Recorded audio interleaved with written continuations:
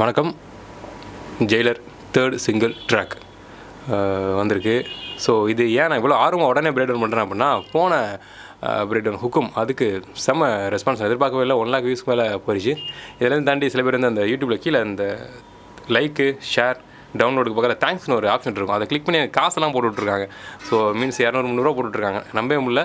ரொம்ப ரொம்ப நன்றி. நான் இதை எதிர்பார்க்கவே இல்லை. சரி சார் நமக்கு பிடிச்ச விஷயத்தை செஞ்சோம். அது உங்களுக்கு பிடிச்சிருக்கு அப்படிங்கிறப்ப ரொம்ப ரொம்ப சந்தோஷம். ஸோ நேரத்தை வேஸ்ட் பண்ணாலும் ஸ்ட்ரெயிட்டாக விஷயத்துக்குள்ள போயிடலாம். தேர்ட் சிங்கிள் ட்ராக் இது எப்படி இருக்க போகுது அப்படிங்கிறத எல்லாரோட எதிர்பார்ப்பாக இருந்துச்சு. இந்த பாட்டை நான் சாதாரணமாக கேட்குறப்ப எனக்கு சில விஷயங்கள் புரிய வந்துச்சுங்க. அது சீரியஸ்லி செம்ம பிளாஸ்ட்டாக இருந்துச்சு. எனக்கு அது உங்களுக்கு தெரியாது. அதை நான் இந்த வீடியோ மூலமாக தெரிய வைக்கிறேன். அது இந்த வீடியோ பார்க்குறவங்களுக்கு ஒரு நல்ல சாட்டிஸ்ஃபேக்ஷனை கொடுக்கும். அது என்ன அப்படிங்கிறத இந்த பிரேக் டவுன் ஜுஜுபி பிரேக் டவுனில் பார்க்கலாம் ஜுஜுபிங்கிற வார்த்தை இவ்வளோ பயமாக உச்சரிச்சு நான் இப்போ தான் பார்க்குறேன். துணிச்சலை மனத்திலே வளர்த்தவன் ஸோ எஸ் ஜுஜிபி இந்த பாடல் uh, ஒரு சாதாரண பாடலா அப்படின்னு கேட்டால் இல்லவே இல்லை. Uh, ஒரு ஃபில்லப் பாடல் மாதிரிலாம் இல்லை. இந்த பாட்டும் படத்தோட கதையோட ரொம்ப மிக்ஸ்டாக தான் இருக்குது குறிப்பாக இந்த விஷுவல்ஸ்லாம் பார்த்தோம் அப்படின்னா சிஜி விஷுவல்ஸ்லாம் பார்த்தோம் அப்படின்னா uh, என்னால் நிறைய விஷயங்கள் அதில் தெரிஞ்சுக்க முடியுது. முதல்ல பார்த்தீங்க அப்படின்னா ஸ்டார்டிங்கில் அந்த வேன் வருது.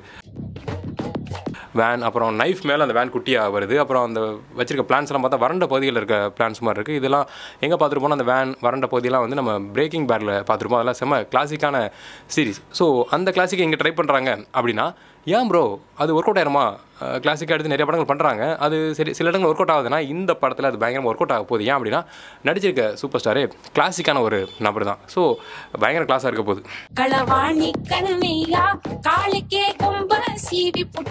ஸ்டார்டிங்கில் பார்த்தீங்க அப்படின்னா அந்த சூப்பர் ஸ்டாருங்கிற பட்டம் இஷ்யூ நம்ம கேள்விப்பட்டிருப்போம். இங்கே ஸ்டார் மேலே சார் நிற்கிறாரு ஸோ எஸ் இதுக்கப்புறமும் இதெல்லாம் பார்த்ததுக்கப்புறம் அந்த ஹுக்கும் பாட்டுக்கு அப்புறமும் இந்த விஷயம்லாம் பார்த்ததுக்கப்புறம் திரும்ப யாரும் சூப்பர் ஸ்டார் படத்துக்கு சண்டை போட்டுக்க மாட்டாங்க அப்படின்னு நான் முழுசாவே நம்புகிறேன்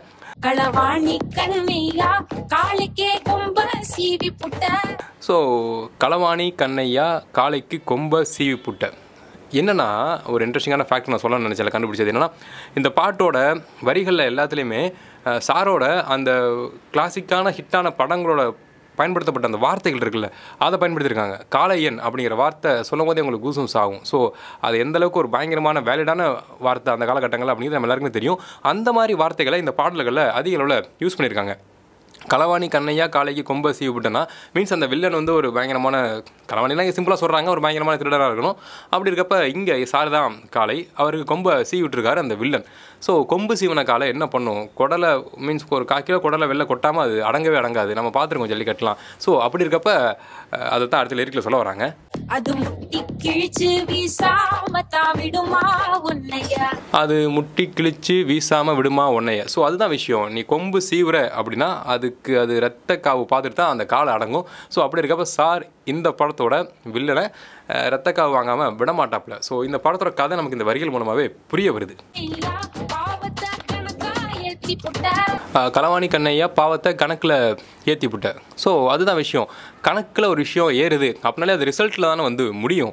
ஸோ அப்படி இருக்கப்ப அடுத்த லிரிக் பார்த்தீங்கன்னா கூட்டி கழிச்சு தீக்காம தாவிடுமா உன்னைய அது கூட்டி கழிச்சு தீக்காம தான் விடுமா உன்னைய? ஸோ இந்த கூட்டி கழிச்சு பாரு கணக்கு சரியாக வரும். அப்படிங்கிற அந்த வசனமே சார் பேசாட்டியுமே அந்த வசனம் வந்து ராதாரே சார் பேசியிருப்பார் அப்படின்னு நினைக்கிறேன். ஸோ அதுவுமே வந்து ஒரு கிளாசிக்கான வசனம் தான். ஸோ அதையுமே மீன்ஸ் நான் ஃபஸ்ட்டே சொன்ன மாதிரி சூப்பர் ஸ்டார் படங்களில் வந்த வெயிட்டான வசனங்களை இந்த பாடல்களில் தொடர்ச்சியாகவே யூஸ் பண்ணியிருக்காங்க. ஸோ ரொம்ப சிம்பிள் வில்லன் அப்படிங்கிற வந்து அந்த பாவத்தை கணக்கில் ஏற்றிட்டாருன்னா சார் அதை கூட்டி கழித்து கணக்கு பார்க்குற ஒரு வேலையை செய்கிறாப்புல. ஸோ கடைசியாக நல் தான் காலி பண்ண போகிறாருன்னு நினைக்கிறேன். ஸோ இந்த வரிகள் ரொம்ப டீப்பான வரிகளாக தான் எனக்கு தெரிஞ்சு. ஏன் அப்படின்னா பகையாகி போனால் பலியாவ வீணா. இது வந்து ஒரு ஒரு வார்னிங் மாதிரி தான் நான் எடுத்துக்கிறேன். மீன்ஸ் இது படத்தில் உள்ள கதாபாத்திரமாக இருக்கட்டும் அதை தாண்டி ரியல் லைஃப்பில் சாருக்கு பகையை வளர்த்துக்கிற நபர்களாக இருக்கட்டும் சார் ரொம்ப டிவைனான பர்சன் தான். ஆனால் ஸ்டில் அவர்கிட்ட பகையை வளர்த்துக்கிட்டா அந்த டிசைன் அவரோட அந்த பவர்ஃபுல் டி டிவைனான அந்த பாசிட்டிவ் வைப்ஸாக இருக்கட்டும் அதிலே வந்து உங்களை அதை காலி பண்ணி விட்டுரும் அப்படிங்கிறத கதையிலையும் சொல்கிறாங்க ரியல் லைஃப்லையும் சொல்கிறாங்க அதுதான்.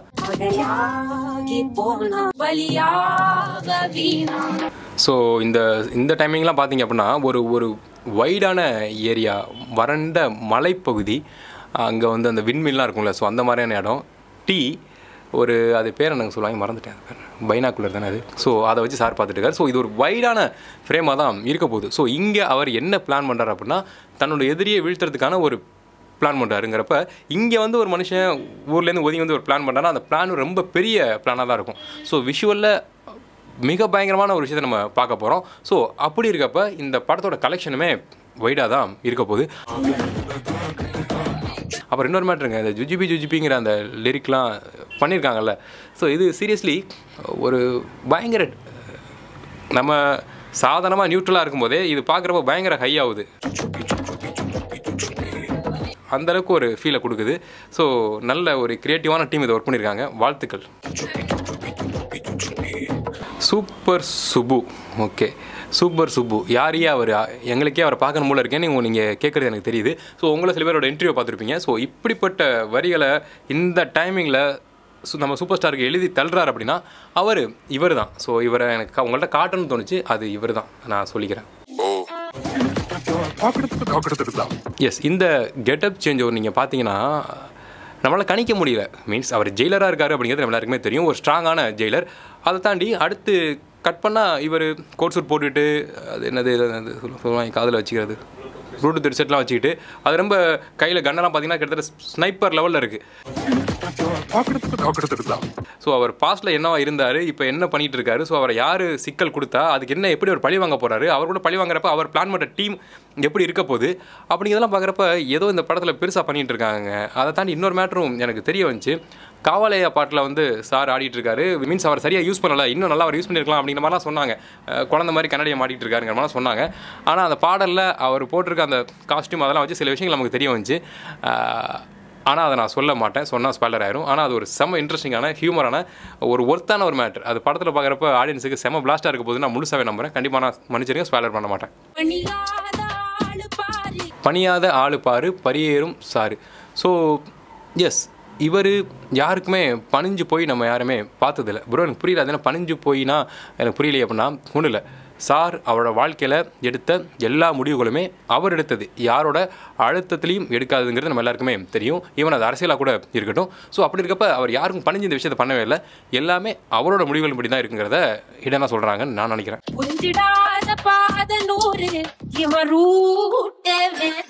ஸோ இந்த வரியில் நான் விளக்கம் சொல்ல தான் ரொம்ப ஆர்வமாக இருந்தேன். புரிஞ்சிடாத பாதனூறு இவன் ரூட்டே வேறு.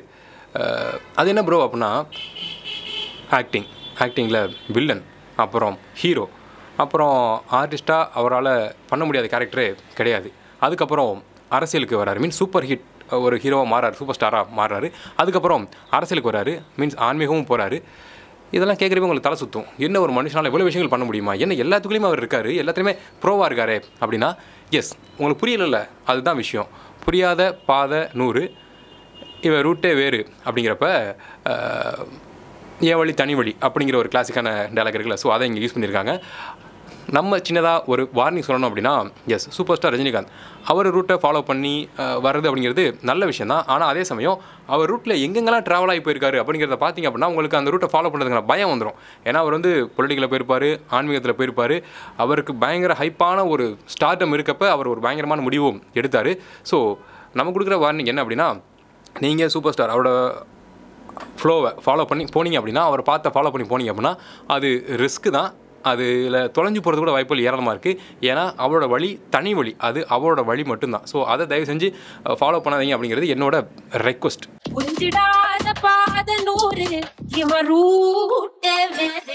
இது டெம்ப்ளேட்டான லிரிக் தான். கலவணி கண்ணையா கரண்டில் கை வச்சுட்டு அவனை தொட்டா தூக்கும். இதெல்லாம் சாதாரண வரைகள். அதுக்கு பெருசாக விளக்கம் தேவையில்லை. உங்களுக்கும் நேரம் வேஸ்ட் ஆகும் எனக்கும் நேரம் வேஸ்ட் ஆகும்.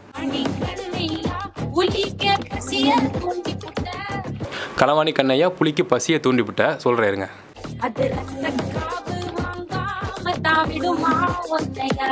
எஸ் புலி அப்படிங்கிறது இந்த படத்தில் சார புலியாக தான் டிஃபைன் பண்ணுறாங்க ஸோ அப்படி இருக்க புலிக்கு வந்து நீங்கள் பசியை தூணா அது ரத்த காவு வாங்காமல் உங்களை விடவே விடாது. ஓகே இது கூட சாதாரணமாக தானே ப்ரோ இருக்கு அப்படின்னா இதுக்கப்புறம் பின்னாடி ஒரு விஷயம் இருக்குது அதை நான் சொல்கிறேன் பசியாரும் பொழுதாகி போனால் பசி யாரும் தானா? ஸோ இங்கே தான் வெயிட்டான மேட்டர் வச்சிருக்காங்க. ப்ரோ எனக்கு புரியல. அது என்ன? பொழுதாகி போனால் பசி யாரும் தானாவா பொழுதாகி போனால் எப்படி பசி ஆறி போயிருமா தானா? அதெல்லாம் ஆறாது. வேலை செஞ்சால் தானே ஆறும் அப்படின்னா எஸ் இங்கே தான் ஒரு விஷயம். சாரை வந்து டைகராக டிஃபைன் பண்ணியிருக்காங்க அப்படிங்கிறத அவங்களுக்கு ஃபஸ்ட்டே சொல்லியிருந்தேன். ஸோ அப்படி இருக்கப்போ புலி எந்த டைமில் வேட்டையாடும் அப்படிங்கிறத நீங்கள் கூகுளில் போட்டு பார்த்தாலே தெரியும். அது அந்த அந்தி சாயும் நேரம் அப்படிம்பாங்கல்ல அந்த மாலை நேரம் முடிஞ்சு அந்த இரவு ஆரம்பிக்கிற அந்த நேரம் இருக்குல்ல. ஸோ அப்போ தான் வந்து புலி ரொம்ப ஆக்டிவாக பயங்கரமாக அதோட எல்லா வேலைகளுமே செய்யும். ஸோ அப்படி இருக்கப்போ அந்த நேரத்தில் அது வேட்டையாடுது அப்படின்னா அதோட பசி தானாகவே ஆறி போயிடும் அதுதான் ஹிடனாக தான் வந்து சூப்பராக சொல்லியிருக்காங்க.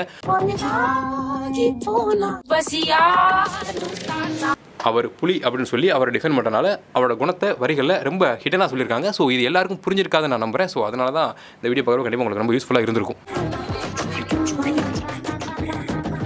ஸோ அதே மாதிரி இப்போ நான் சொன்ன விஷயத்தை கன்ஃபார்ம் பண்ணுற மாதிரி சார் இந்த ஏதோ சீக்வன்ஸ்க்கு ரெடி ஆகிறாப்ல இந்த கிளிப்ஸ் வச்சு நம்ம சொல்கிறோம் இந்த கட்ஸ் வச்சு நம்ம சொல்கிறோம் அதில் அவர் ரெடி ஆகிற நேரம்லாம் பார்த்தா முழுக்க முழுக்க அந்த அந்தி சாயும் நேரம் தாங்க. ஒரு ஆறு ஆறே முக்கால் ஏழு லைட்டு போடுவாங்க. இருட்டிட்டு இருக்கும் கொஞ்சம் வெளிச்சமும் இருக்கும்.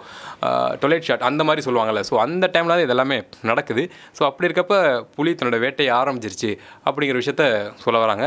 ஸோ இந்த மாதிரி டெப்த்தான விஷயங்கள் நிறைய விஷயங்கள் இந்த பாடலில் விஷுவலில் இருக்குது ஸோ இதை தாண்டி நான் சில விஷயங்கள் ஏதாவது மிஸ் பண்ணியிருந்தேன் அப்படின்னா மறக்காம நீங்கள் அதை கமெண்ட் செக்ஷனில் சொல்லுங்கள் ரெண்டாவது வீடியோவில் நான் சொல்ல வந்த விஷயம் ஒன்றே ஒன்று தான் இந்த பாடல் மீன்ஸ் ஒவ்வொரு பாடலுக்குள்ளேயும் நிறைய விஷயங்கள் அவங்க சொல்லியிருக்காங்க. குறிப்பாக சூப்பர் ஸ்டார் ரஜினிகாந்த் அவரை வச்சு இருக்க பாடல்களை முழுக்க வரிகள் எல்லாமே விஷுவல் எல்லாமே இப்போ இருக்க அந்த அரசியல் களத்தையும் வச்சு சாரோட மனநிலையும் வச்சு இப்போ அந்த சூப்பர் ஸ்டார் ரஜினிகாந்த் அப்படிங்கிற அந்த பேருக்கான அந்த பட்டத்துக்கான போட்டி இருக்குல்ல ஸோ அதையும் வச்சே தான் எல்லா வரிகள் எல்லா விஷுவல்ஸுமே எழுதியிருக்காங்க. ஸோ நிறைய லேயர்ஸ் இருக்குது இப்போ நான் பேசின விஷயங்கள் எல்லாமே படம் வந்ததுக்கப்புறம் இன்னும் பயங்கரமாக எல்லாருக்கும் புரிய வரப்போகுது. உங்களை மாதிரியே நானும் ரொம்ப ஆர்வமாக ஜெயிலர் படத்தை பார்க்க எஸ் சின்ன வயசில் எப்படி சூப்பர் ஸ்டார் நம்ம பார்த்தோமோ அதே ஆர்வத்தோடு நான் வந்து ஒரு குழந்த மாதிரி வெயிட் பண்ணிகிட்டு இருக்கேன். பத்து எட்டு இருபத்தி மூணு ரிலீஸ் ஆக போகுது அடுத்த மாதம் ஸோ மறக்காமல் எல்லோரும் வாங்க தேட்டரில் சந்திக்கலாம். முடிஞ்ச வீடியோவை ஷேர் பண்ணுங்கள் வழக்கம் போல் சப்ஸ்கிரைப் பண்ணுங்கள் நன்றி. Who is this guy? Thank you.